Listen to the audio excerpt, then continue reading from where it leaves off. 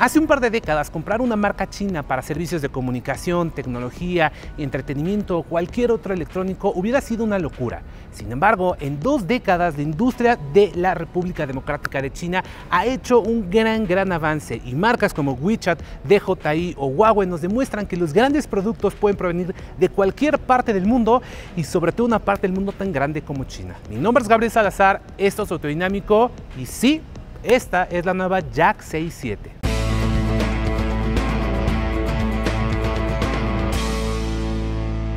Aquí vamos otra vez. Sí, Jack 67 es un vehículo chino, ensamblado en México según la marca china en la planta de Ciudad Sagún Hidalgo. Las piezas vienen de China y aquí es donde terminan de armarlo. Sin embargo, ese no es realmente un problema, porque si veo este auto, lo primero que me sucedió fue que me sorprendí por el diseño.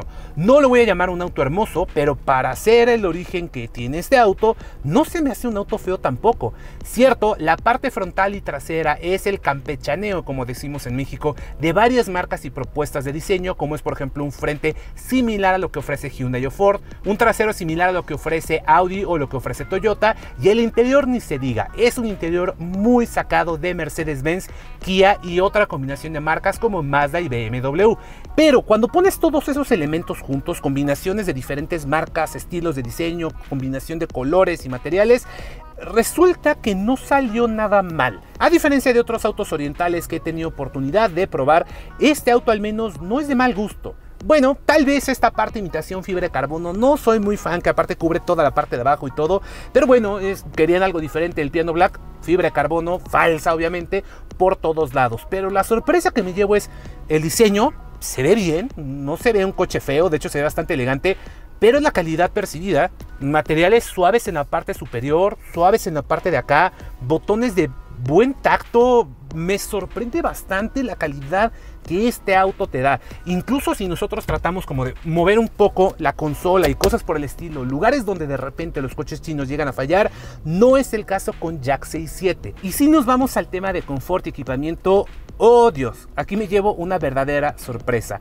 El equipamiento es enorme, gigantesco mucho mayor al que encuentras en otros autos de marcas a lo mejor más comunes. Y ese es justamente uno de los puntos fuertes que tiene que tener, en mi opinión, una marca china al momento de entrar a un nuevo mercado, que te da un mejor valor por tu dinero. En el caso de Jack 67, pongan atención porque había una lista bastante larga. Contamos con mantenimiento de carril, control crucero adaptativo, freno autónomo en caso de emergencias. Tenemos también un sistema de sonido filmado por Infinity que cuenta con más de 8 bocinas, una transmisión automática doble clutch de 7 cambios, un motor turbocargado de 2 litros con 190 y tantos caballos de fuerza, un reloj analógico, cámara de visión 360, techo panorámico un espejo electrocrómico, iluminación LED, tanto para el interior como para el exterior, pantalla a color reemplazando las agujas, el volante, asientos en piel, asientos con calefacción, enfriamiento y masaje para el asiento del conductor, un cargador inalámbrico de tu celular, freno de mano electrónico con función de auto hold, aire acondicionado automático doble zona, portón electrónico en la parte trasera.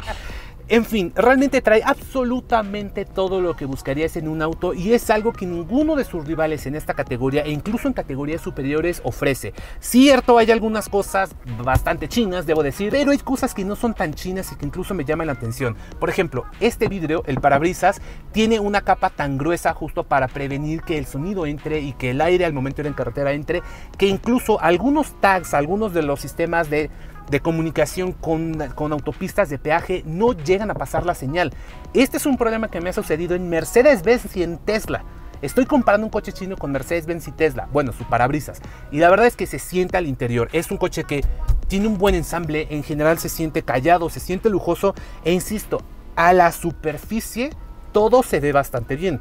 Pero ¿qué pasa cuando nos metemos un poco más? Ahí es donde a lo mejor empezamos a ver, ay, ya, ya, ya, ya te vi la parte china.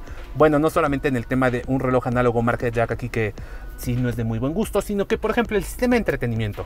Es un sistema de entretenimiento que en general si bien se ve bien porque es una pantalla color de 12 pulgadas mucho más ancha que alta como lo ofrece BMW, no está ni cerca de cosas por el estilo. Porque por ejemplo tiene su propio sistema de entretenimiento, el cual parece sacado como de SEAT, pero cuando tratamos de usar cosas como el teléfono, navegación o cosas por el estilo, vemos que no tiene navegación. Tampoco tiene Android Auto ni Apple CarPlay, tiene solamente un USB, un único USB en la parte frontal, no tiene auxiliar, tiene Bluetooth que de hecho se escucha bien, pero falla a cada rato. De repente no es precisamente la conexión más estable que quisiéramos, la calidad de gráficas no es la mejor, pero lo bueno es que este sistema se puede actualizar y mejorar constantemente. O que hay, por ejemplo, de la pantalla color en medio de las agujas. Como digo, este auto equipa una pantalla color de como 12 pulgadas más o menos en lugar de las agujas. Este es un equipamiento muy, muy, muy avanzado que autos, por ejemplo, como Volkswagen Tiguan hemos pedido que equipe y no lo trae. En el caso de Jack 67 puedes configurarla en diferentes estilos. Puedes cambiar a mejor que se vea más clásico, más moderno. O que hay, por ejemplo, la posición de manejo. Insisto, el asiento está muy cómodo, muy suave, a diferencia de otros coches chinos que he probado. Son asientos suaves con calefacción, enfriamiento y masaje para el asiento del conductor, memorias y ajuste eléctrico.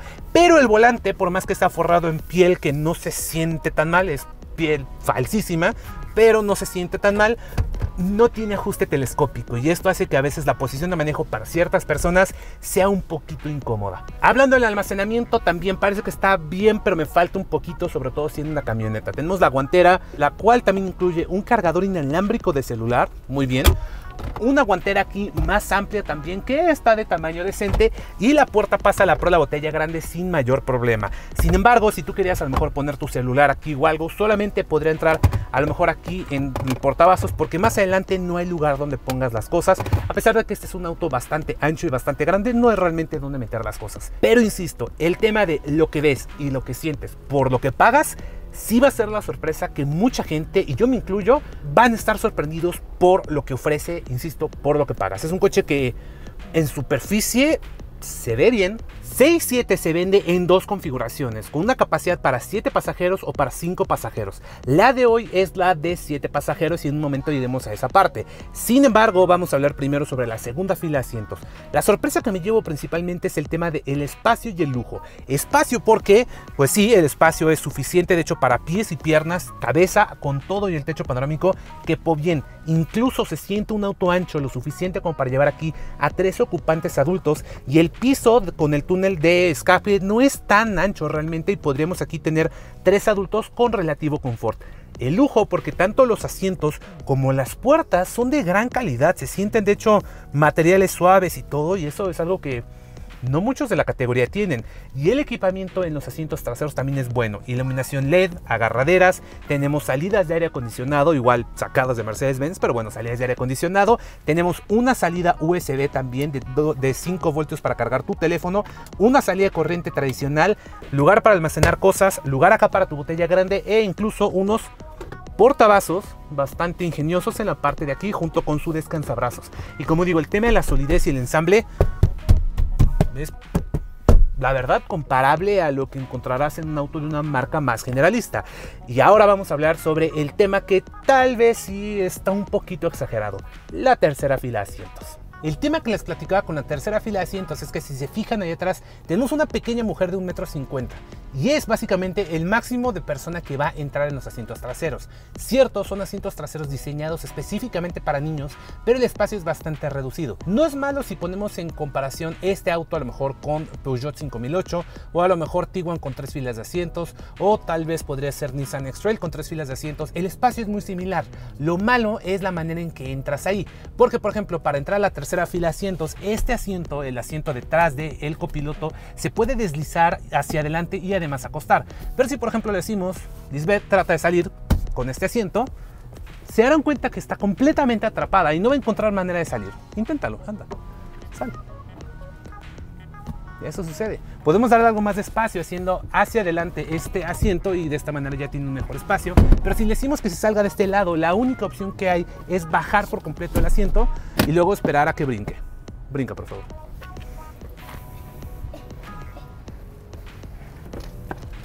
Como ven, cualquier dama pierde la elegancia haciendo semejante movimiento. Hablando de la cajuela de 6.7, tenemos aquí dos cosas curiosas. Se te hace el diseño un poquito similar a lo mejor a lo que encuentras en Audi Q5. No va a ser lo único similar que vas a encontrar, porque si te fijas, al momento de subir el portón trasero, también se lleva los grupos ópticos.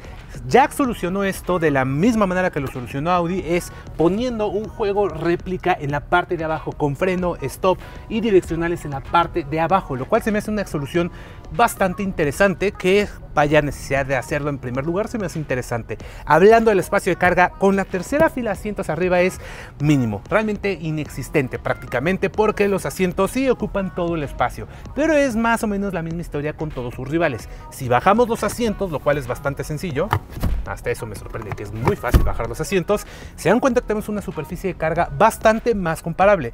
Pero hay un par de cosas también que mm, me llaman la atención porque son buenas soluciones considerando que este es un coche nuevo, de una marca nueva en México, como por ejemplo que debajo del suelo de la cajuela de este suelito tan chiquito tenemos un cubro objetos y está bien guardado aquí abajo, se puede poner y eso es algo que marcas como Mazda por ejemplo no lo ofrecen, es muy bueno.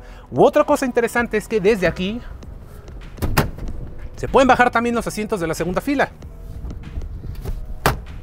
Estas son cosas que varios de sus rivales de marcas normales no ofrecen. Interesante, no digo que esté bien, no estoy defendiendo y diciendo que este es un coche increíble, pero es equipamiento que, insisto, no encuentras en otros lugares. También tenemos eh, iluminación LED en la parte de atrás, así como también una salida de corriente. Los cinturones de seguridad se pueden también poner acá para que no te estén estorbando, los de la tercera fila. Sorprendentemente está muy bien y no tengo prácticamente quejas de la cajuela. El terminado, la manera en que cierra la cajuela y todo, es bueno. E incluso lo sé por experiencia porque se me ponchó la llanta de este coche, que bajar la llanta de refacción viene protegida a diferencia de otros. O sea, no viene la llanta en la parte de abajo así suelta, sino que viene justo en un plástico protector que evita que la llanta vaya a sufrir daños en lo que circulas y eso se me hizo una solución inteligente que no había visto yo en otro coche. Insisto, no digo que es una maravilla este coche, pero digo que sí me sorprenden varias cositas que hace bastante, bastante bien, incluso mejor que varios de sus rivales. Interesante. Si tú ya viste el precio abajo en la descripción de este video y dices, pues la verdad, por lo que cuesta estoy recibiendo bastante equipo, me imagino que es justo en la motorización en donde me castigan bastante y me ponen cosas bastante mediocres. Y yo te diré, no precisamente, porque también la oferta de valor de Jack 67 también se extiende al motor, porque tenemos un motor que en papel suena que está bastante bien, muy muy acorde a los tiempos en los que estamos. Tenemos un motor 2 litros turbocargado generando 190 caballos de fuerza y 200 libras pie de torque si no me falla la memoria. Eso está bastante bastante bien. Lo hace una de las opciones más potentes de su categoría. Y en cuanto a la caja, también sorprendentemente tenemos una caja automática doble clutch de 6 cambios. Mecánicamente este auto es muy similar a lo que encontramos por ejemplo en Tiguan Highline con el motor 2 litros la caja doble clutch de 6 cambios, a diferencia de ese vehículo, este únicamente es tracción delantera, pero todo suena muy bien, o sea, está recibiendo algo bastante bueno, ¿no?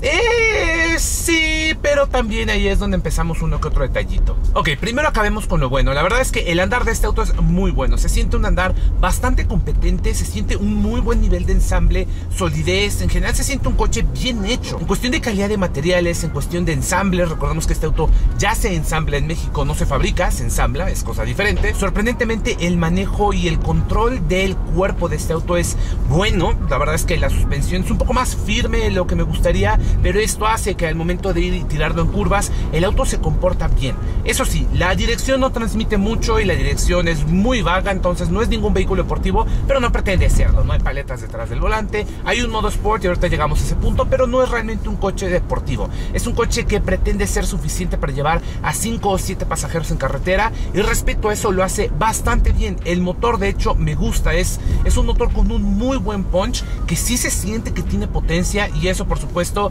nos ayuda a tener la confianza de que en carretera no es un coche lento, es un coche que tiene buena potencia y que en general todo va a salir muy bien.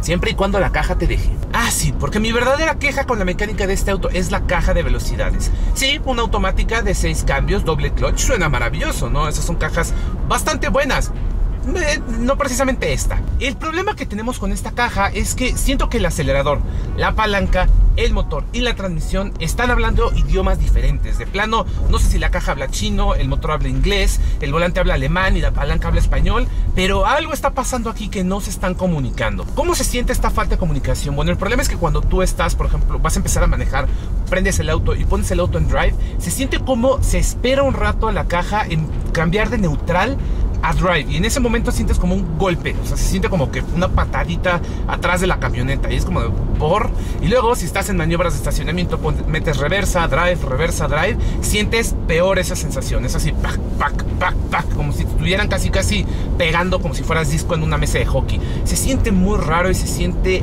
mal, no se siente que es algo correcto. Ya el momento de ir en carretera o el momento de ir en la calle se siente mejor, ya no te das cuenta de los errores de la transmisión, pero si te das un poco cuenta cuando estás en el tráfico. Las cajas doble clutch cuando tú estás en el tráfico comúnmente lo que hacen es que desacoplan la velocidad, están en neutral digamos y luego meten primera, porque las cajas de doble clutch no son cajas automáticas, son cajas manuales que tienen un accionamiento robótico. La cuestión es que se siente como que el robot en este auto no es muy listo y no hace los cambios muy bien y es medio torpe para estar haciendo los cambios. Entonces siente como que aceleras tantito y ¡pah!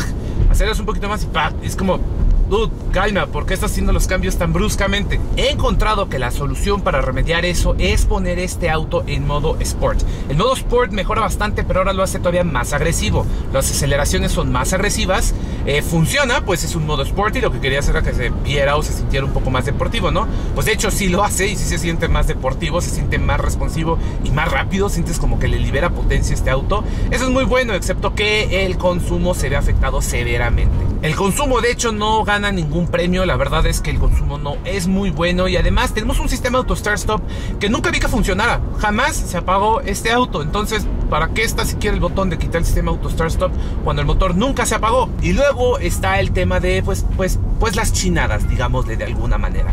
Las chinadas me refiero a que hay ciertas cosas que de todos modos no están muy bien pulidas. Ejemplo, la cámara de visión periférica, gracias, que buena una cámara 360, qué bonito, pero es la peor cámara que he visto en mi vida. Realmente tiene una terrible, terrible resolución y pues simplemente te dices, no, no, puedo ver, o sea, pásame una lupa porque no estoy entendiendo nada de lo que hay en la, parte de atrás del auto. O luego está el clúster de instrumentos digital que uno diría, oh, muy bien, clúster de instrumentos, eso es moderno y ningún otro auto lo tiene.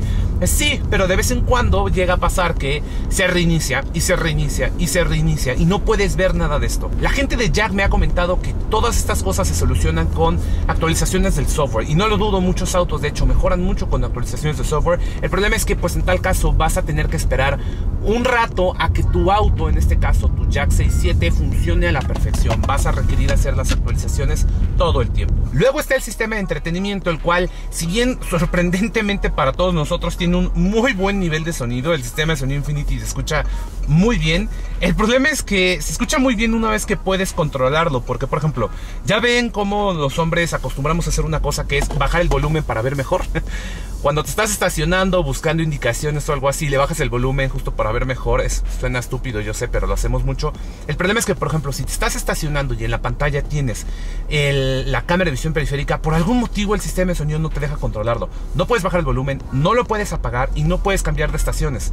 Entonces, como te desesperas que no puedes bajar el volumen porque, porque está ocupada la pantalla por otra cosa visualmente no hace sentido. El sistema de aire acondicionado es medio temperamental, de repente tiene frío, de repente tiene calor y no entiendes precisamente en qué mundo vive para poner el aire acondicionado tan fuerte. Son cositas, no voy a decir menores, pero que una vez que las vas juntando, hacen que esta experiencia de manejo sea diferente a muchas otras. Buscas producto, te puedes comprar un coche que viene austerísimo, con muy poco equipamiento, pero que es un gran, gran, gran producto. Buscas equipo, te puedes estar comprando un auto como este, que trae todo en cuestión de equipamiento, realmente más de lo que necesitas. Y si bien el producto falta que le mejoren y le pulan varias cositas, es mucho equipo por lo que pagas. Al final se resume en eso, buscas producto o buscas equipo. Si buscas producto, hay muchas grandes opciones en las marcas japonesas, alemanas, estadounidenses. Y si buscas equipo, probablemente no encuentres una mejor opción que Jack 67. Tiene sus detalles que pulir, vas a tener que tener un poco de paciencia para que todo se mejore, pero si lo que buscaba era el equipamiento, sí, Jack 67 puede que sea para ti. Jack 67 entonces está lejos de ser perfecto, sin embargo la tecnología, el diseño, la calidad percibida, el ensamble y por supuesto el lujo que presenta va a ser un argumento más que suficiente para que muchos de ustedes seleccionen este auto por encima de una marca más tradicional. Y no los culpo, después de todo, sí, a lo mejor puede que sea una de estas decisiones que mucha gente te va a decir, ¿qué hiciste? ¿Por qué compraste eso? Pero si no fuera por esas personas es que empresas tan grandes que tenemos hoy en día no hubieran sido tan exitosas hace tantos años. Para que ellos valieran que tuvieron su fe en apostar en un producto diferente que salía de lo convencional, es por ellos que tenemos el mundo en el cual vivimos hoy en día. ¿Ustedes qué opinan del nuevo Jack 67? Me encanta saber su opinión en la parte de abajo, así como también ver los suscritos autodinámico para que nosotros sigamos haciendo más de estos videos cada semana. Mi nombre es Gabo Salazar y yo los veo en el próximo video.